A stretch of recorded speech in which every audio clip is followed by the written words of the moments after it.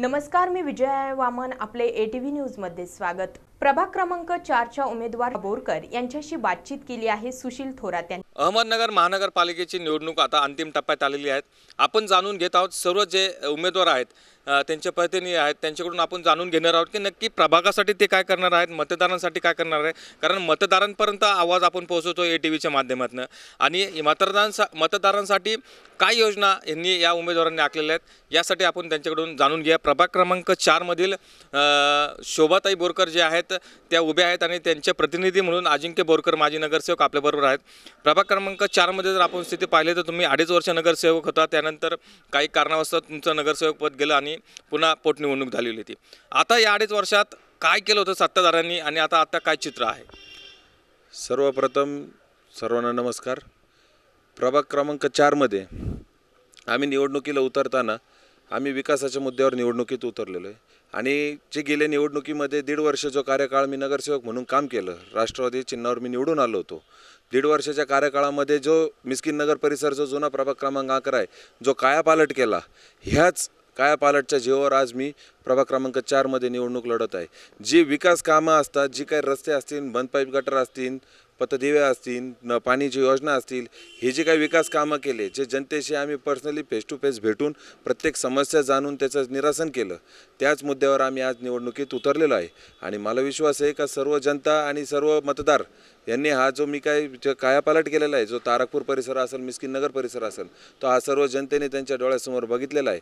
तर त्या आज मला विश्वास आहे का जनता आमच्याबरोबर राहील वर पूर्ण संपूर्ण राष्ट्रवादी काँग्रेस पॅनलबरोबर आमच्याबरोबर राहील?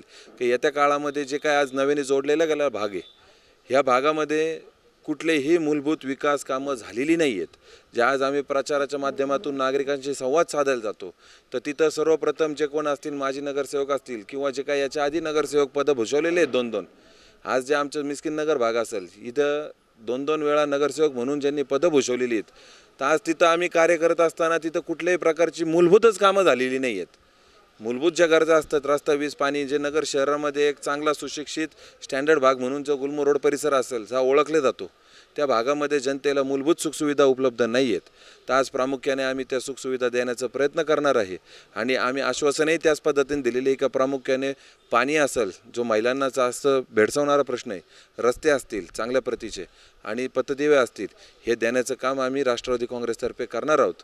आणि जे काय कोणी आज इथं फिरू राहिलेत मत द्या मत द्या जे पक्षाच्या नावावर जे कोण वरच्या नेत्यांच्या नावावर जे मतं मागू राहिलेत तर अडीच वर्ष साडेतीन वर्ष नगरसेवकही ते होते. सत्ताही महापालिकेत होती राज्यात होती आणि केंद्रात होती.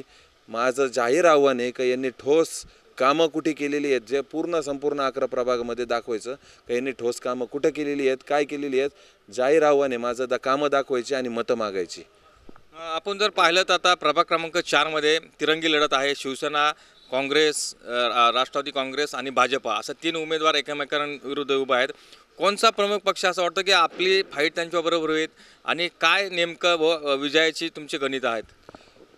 आता विरोधामध्ये फाईट हा म्हणायचं झालं तर मला विरोधकांमध्ये कुठंच काय म्हणजे जनतेला जे निगडीत जे निवडणूक असती निवडणुकीमध्ये उमेदवार जो मतं मागतो तर ते मतं कोणत्या विषयावर मागायचे आणि काय मागायचे ते आज हे विरोधी पक्ष जे असतील जे कोणते विरोधी पक्ष असतील ते कोणत्या विषयावर मतं मागू राहिलेत आणि याच्यात कुठं तथ्य काय मला दिसत नाही आहे म्हणजे जो काय मी असं नाव घेऊन सांगू शकत नाही. एक म्हणतोय भयमुक्ती तर इथं कोण काय भयमुक्तीला आज तुम्ही क्राईम रेकॉर्ड बघायचे किंवा कोणते लोक आज आम्ही प्रभागात जात असताना विचारतो तुम्हाला इथं काय कोणाचा त्रास आहे का? ते इथं काही त्रास नाही एकदम सगळं व्यवस्थित आहे.